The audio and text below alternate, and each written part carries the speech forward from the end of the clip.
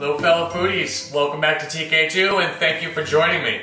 So we're gonna do a little ditty called Turkey Under a Brick. We're gonna serve our turkey under a brick with a cauliflower and pesto slaw and then we're gonna top it with a uh, barbecue sauce that has a little bit of Calabrian chili peppers in it just to give it a little extra heat. So I recently got this idea. Um, I was watching a, a, cooking show and they were doing uh, chicken under a brick and I thought to myself, wow, I haven't uh, done anything under a brick in a while. And I've really been wanting to recreate the thought process of how we present turkey. Thus the idea of turkey under a brick. Put it in our cast iron pan, skin down.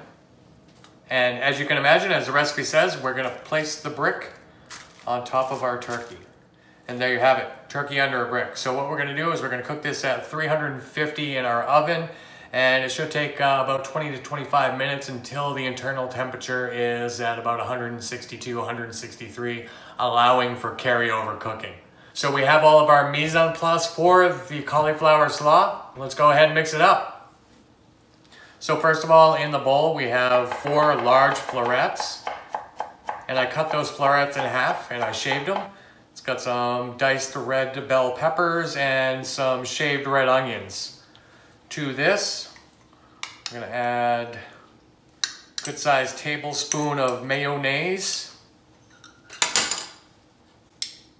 About an ounce and a half of pesto. And I usually like to add vinegar to salads and slaws that I'm making.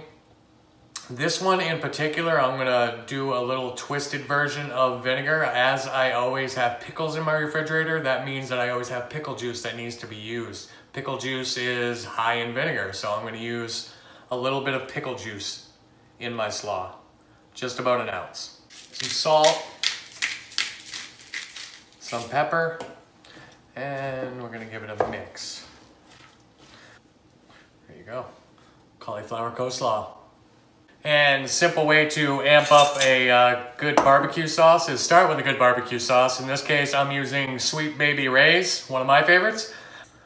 I'm gonna add some chopped Calabrian chili peppers.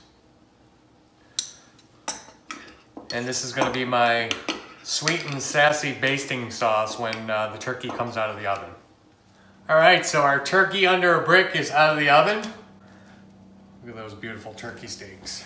So we're gonna move forward and plate this. So this is the Calabrian chili pepper barbecue sauce.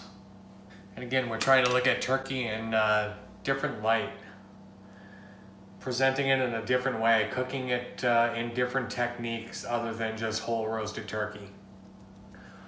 Cauliflower slaw that's dressed with uh, pesto dressing that we're gonna use as a base. Let's give our turkey a cut. I'm gonna cut this, kind of making two triangles. I'm gonna give it a pretty plate presentation. Since we have Calabrian chili peppers in the barbecue sauce, we're gonna garnish with a couple of the chili peppers. Here I've got a little bit of queso fresco, fresh cheese. I'll finish it with a little bit of salt. And there you have it, our beautiful rendition of Turkey Under a Brick. All right, what do you say we give this a try? By we, I mean me.